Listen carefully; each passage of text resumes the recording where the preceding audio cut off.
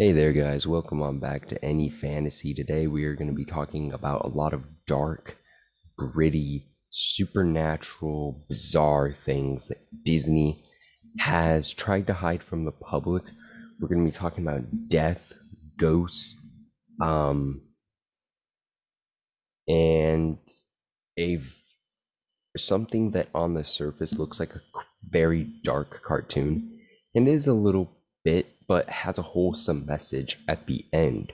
This is only part one of this stuff because i um, would really like to do some of this more often in the future. But anyways without further ado let us talk about the dark disney.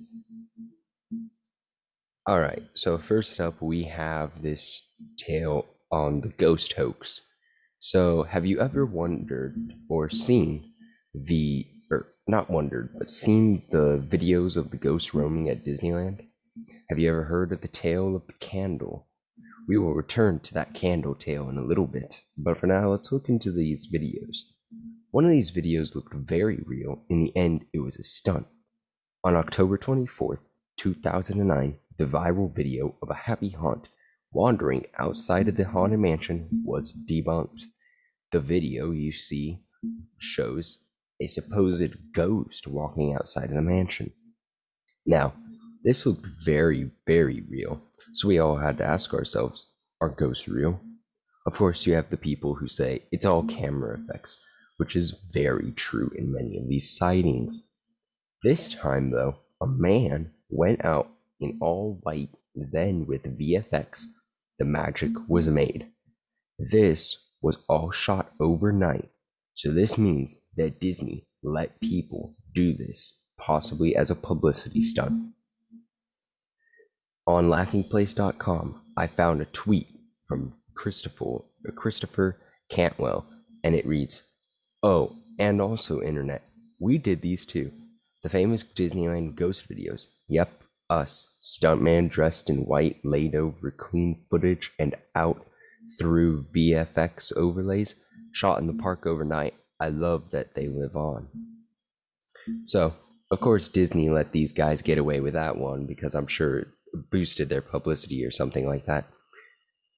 Um, but anyways, now let's talk about Mr. One Way. Now, Mr. One Way is a very creepy ghost story, I'd say. It's a little bit interesting, not really. I guess I would say eerie. The one ghost who stood, oh, well, also, actually, I don't know if I included the ghost standing on the class castle, but we will be talking about Mr. One Way right now, and then a ghost by Snow White's um, fountain. Well, whatever. It's all the same. Anyways, Mr. One Way is only encountered if you are riding Space Mountain in a single rider mode. He will sit by you. That is if the spot isn't filled. He is supposed to have red hair. Mr. One Way is the spirit of a man who died on the ride, but he enjoys this ride and rides it until the end of time. Here's the biggest problems with this no one has died on Space Mountain a woman did get very sick while riding Space Mountain and then died after, but not on the ride. There are many incidents of death after the ride, but nothing on the ride. I did the research. Now, here is his official origin story. One day, a guest encountered a red haired man in line. The man seemed odd because the man was unaware of recent Disneyland changes. The guest was seated next to the red-headed man, but at the end of the ride, the man, the man, red-headed man, disappeared. When he reported the issue to a cast member, the cast member told him that no one was seated next to him. Now, it's a very short origin story, but it is quite interesting what this tale is. Now, I think it's pretty false. Um, I will be making probably a scary story for uh, Halloween on my encounter with Mr. One Way. Uh, and uh, yeah, now let's move on to the Wishing Well incident. Now, if you don't already know, Disneyland has this cool little Snow White wishing, wishing well somewhere near the castle. This is only in Disneyland, if I remember correctly. It might actually be in Disney World. I can't remember though. Um, I've been to it. It's really nice, relaxing. It's opened all hours of the day until, of course, the park closes. You can just sit there, soak in the nature around you. Just have a break. I don't know. Maybe you buy a hot dog or a sandwich or a corn dog or a turkey leg, and then you go sit over there, or your fifteen thousand dollar churro, and uh, you sit there and eat it. Um, but during operating hours at night, some Disney villains were taking pictures with some guests. We can now see a ghostly man sitting down near the seven dwarfs and Snow White. Now, it's a little bit stupid, the video that you're seeing right now. It is uh, pretty false, in my opinion, and it looks very computer generated stuff. Uh, or like camera glare or reflection, I don't know. But it always gives that unsettling vibe when you see ghosts at Disneyland. Now, back to an old fashioned ghost mm. tale, possibly the most infamous one. Mm. Spooky, but not horrifying. Once upon a time, in a mystical land called Disneyland, there was a man named Walter Elias Disney. He built an old timey American town called Main Street, USA. This was kind of where he grew up, and it was his way of bringing his home to California and into Disneyland so he could share it with everybody. In that town, there was a fire station, and it still is there today. This fire station was made with two stories. The bottom one contained a fire truck, a fire pole, and some other firefighting firefighter stuff and gear. Kind of just go in there and take a picture and, like, hey, I made it to Walt Disney's fire station. Now, it's very famous fire station because Mr. Disney made the second story a private room for him and his family. Now, if Mr. Disney ever wanted to stay overnight, maybe he had in laws coming out or something. I don't know. Maybe, I don't know who came over, but uh, maybe he wanted to vacation at Disney himself with his family. This is where they would probably stay. It's very nice, private, and he literally was inside the park. After Mr. Disney died, though, a candle would stay lit in the top room. Now, according to numerous accounts, a maid went up into the room to clean at night. She turned on, uh, turned a candle out near the window, but then it lit again. Just instantly, she t- then turned it out again, but it reignited all on its own for a second time. At this point, she was terrified, and now every night candle stays lit in remembrance of Disney's soul. Some say Mr. Disney's spirit remains up there and he lights it when the candle flickers out. Now, this is inherently false because the reasoning Mr. Walt Disney's head remains under the park. Yes, you've heard this right. It's an old tale and legend that's pretty stupid but funny that Mr. Disney has his head cryogenically frozen. Now, legend has it that Dis- Mr. Disney always wanted to advance society to the next level, which is proven fact. He was a pioneer of many theme park inventions and movie inventions. He was the very first man to make a full length cartoon short that showed in theaters, also, the first full length animated movie. On top of that, he even created the first ever live action animated film, Mary Poppins, I'm pretty sure came before Roger Rabbit. One of the two did. Sorry, but they were both made by Disney. And so go check out Roger Rabbit and Mary Poppins. And now the uh, Chip 'n Dale Rescue Rangers, which is actually cartoon and CG, and I guess maybe some live action. I haven't seen it yet. But those are all the types of things that he made. He also made like the very first steel tubed coaster, which is Matterhorn. Anyways, back to our legend. It is said, has been said in many times, many ways that Walt Disney froze his head under Disneyland. If you've seen Star Wars, then imagine a Kamino like facility under Disneyland that houses Walt Disney's head it's called cryogenics, cryogenically freezing your head. And what this would allow is that in the near future, we could defrost his head and attach it to a cyborg, and then he would just basically, essentially, be like an AI intelligent cyborg thing. I don't know. It's super stupid and like there's so many things that can debunk it, but people believe that Walt Disney's head lies under Disneyland and that he'll come back someday. So yeah, now we've learned that Disney has a lot of weird problems and supernatural incidents and ghosts, cheating death. Now are they real? I think yeah, kind of. It's an inside job probably made by the cast members trying to hype up Disneyland Disney with like the supernatural world. You know, there's like all those supernatural geeks out there who share their scary stories online. So it's a business tactic, and then you get more buzz around Disney in literally every way that they can. And so I believe that it's all publicity stunts. Some of it might just be camera tech issues, but uh, it works out in the long run for them. Now, let's move on to the darkest subject we'll probably be talking about today uh, death. Now, there have been people that it's not mm. just people that died at mm. Disneyland, but as we will see right here, we must be talking about the mm. possibility of real life human bones that are used on Pirates of the Caribbean. I'm not even exaggerating by this about this. According to sfgate.com, the Imagineers didn't have the technology to replicate skeletons for pirates. So what did they do? Go on some cultish murder spree? Did Disney com- did the Disney company go to a cemetery cemetery at like two in the morning and just dig up bones? No, no, and no. It's even better. Well, even grimmer and more intriguing and uh, disturbing on many levels. Disney Imagineers, rather, just went to UCLA to purchase skeletons, and these skeletons were going to be used for science.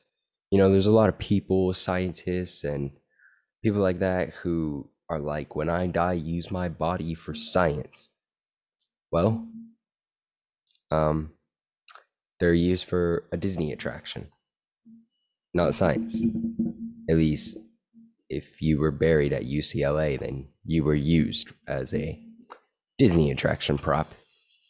Now, this didn't actually last forever because, according to this quote from Jason Voorhees' book, How to Steal a Skeleton from UCLA and Give It to Disney. No, I'm just kidding.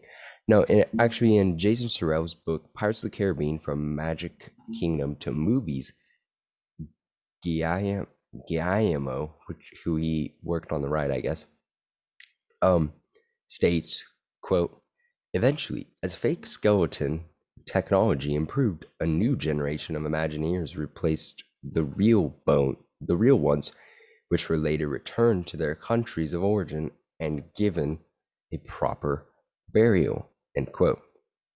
So in the end, these bones were actually buried, but the legend has it that the headboard skull is actually still real. People really do believe that the headboard skull never was taken down, and it is still a dark Easter egg that Disney has a real living, well, not living, but a real person's head on a headboard. Now, it's very disturbing when you see it side by side. It looks pretty real. At least to me, it does.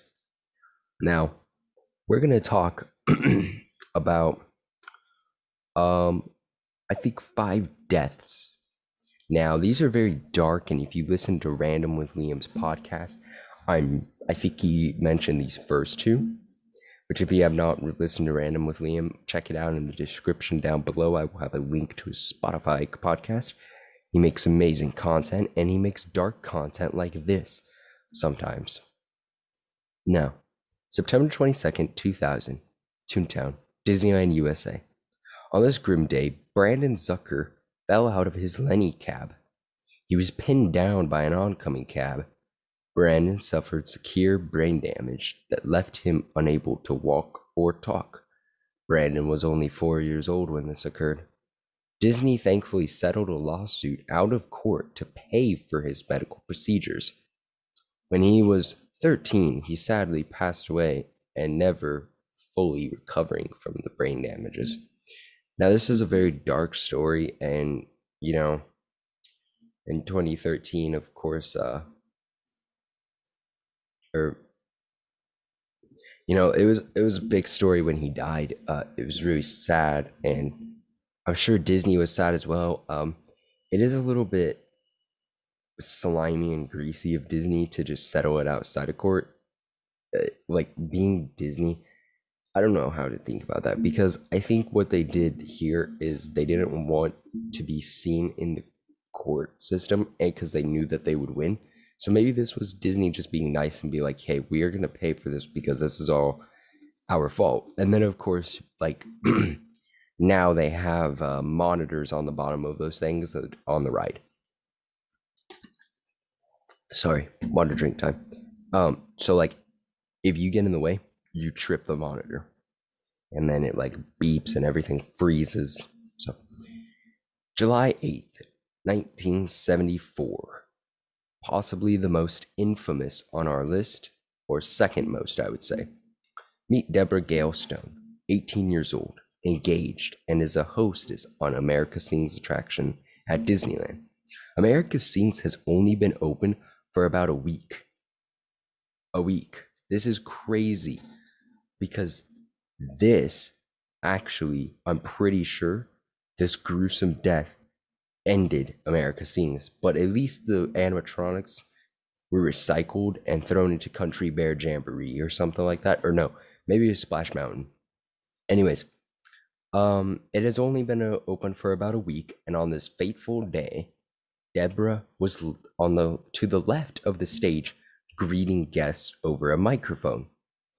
At about 11 p.m. PST that evening, she was crushed in between the walls. To make matters so worse, it has been reported that before her death, she was on the phone with her fiance and that you could hear the screams, the audience could hear the screams as she was getting crushed. October 2010, Paris. A 53 year old man is cleaning on It's a Small World. Another cast member flicks a switch and the ride starts up. Our 53 year old cleaner gets trapped under the boat. He is dragged under the boat and rushed to the ER.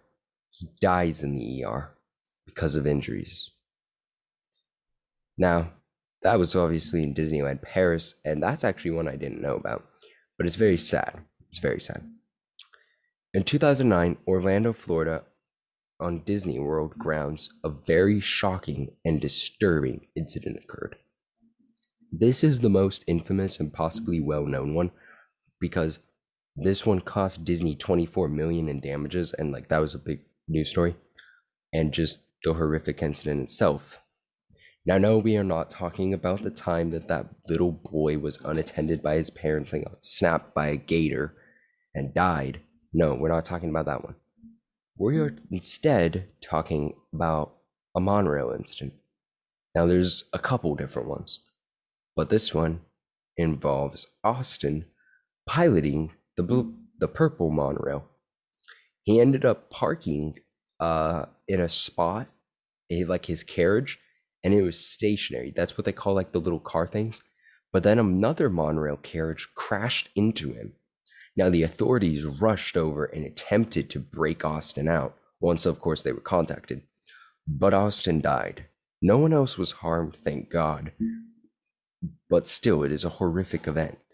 Um, and then it was later revealed that it literally all could have been avoided only if the panel operator was paying attention and doing his job and switched beam 9 from one di- direction to the other.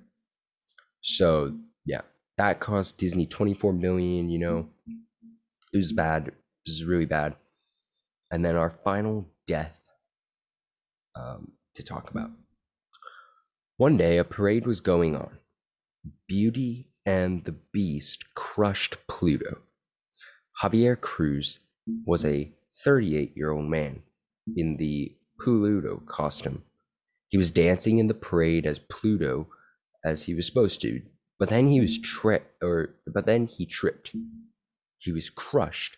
Cruz's co-workers sadly had to lift the float off of his dead body using a forklift and then of course see his dead body. No visitors actually witnessed this horrific event, so that's really really good. but the most disgusting and vile part of this is the fact that Disney was only fined for a very small $6,500 on safety violations. They got off with their own performer getting crushed by a vehicle for $6,500. Let that sink in for a minute. All right.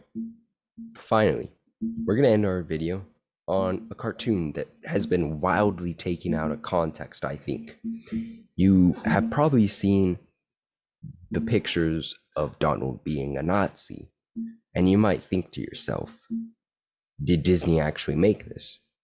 Well, I don't know how to pronounce this, but you, you can see the name, and I'll try.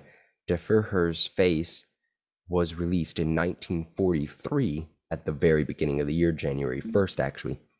This cartoon depicts the life of a Nazi soldier. Donald is shown reading Mein Kampf and saluting to the Nazi order. It shows the horrors of Nazi Germany and showing you it's like anti Nazi propaganda. So that's good, you know? Like it's like these are the Nazis, this is what they do to their soldiers, this is their cult, and we need to beat them in the war. And it then, of course, wraps up in good Disney fashion, where Donald wakes up from his nightmare and sees Lady Liberty outside and is in his American flag pajamas in a very patriotic bedroom of his, and he salutes to Lady Liberty and is proud to be an American. Now, it's very nice and wholesome ending, and this cartoon is wildly taken out of context because what they see is a lot of like the entire 95% of this short 99% actually is nazi germany uh, and donald. And it's really bad when you look it up online and you just see him reading out a Mein Kampf for him doing this as you can see with the like bullets and saluting to the nazis. But i think that honestly they should come out and be more proud of this. It would really make them more patriotic. It's like hey look we pushed anti-Nazi propaganda to, and uh, it ended in very patriotic fashion. Well, I hope you guys uh, enjoyed today's uh, video here, and that was just volume one, you guys. That like I I spent a while on that script. You'll see all the sources down below, and there's a lot of things in those sources that I didn't include, like other stories that I could have. But be excited and be ready because um like this is a crazy crazy um thing. Like these stories are crazy stuff. I hope to do like more dark and deep dives into companies and stuff like that. In fact this is going to be releasing on monday. So um, on wednesday this week look out because I have the very first any sports interview with um, another elevation youth leader but we're going to be talking shoes and sports and stuff like that all that fun stuff. A little bit of legos actually also. Um or legos sorry. Uh, and then next monday i am making probably it'll rank in about an hour and a half to three hour video because it is me ranking every Marvel superhero or character. It's like 250 plus has this giant tier list, and I'm going to give my reason why on everybody. So it's going to be a lot, guys. but it'll be a lot of fun. And keep on listening to AnyCast on the podcast. Keep on tuning into our YouTube content. And of course, go check out Random with Liam. And, uh, you know, I'm excited to do the Miss Marvel and Kenobi reviews and keep up with the NBA Finals, which we, uh, as of the day that I'm recording this, we, uh, witnessed the Golden State Warriors lose to the Celtics because they choked in the defense and uh, it all went downhill once the three pointer was cast up. But I believe that the Warriors can win, and they will, and they should get the victory. And keep on listening to my content. Peace.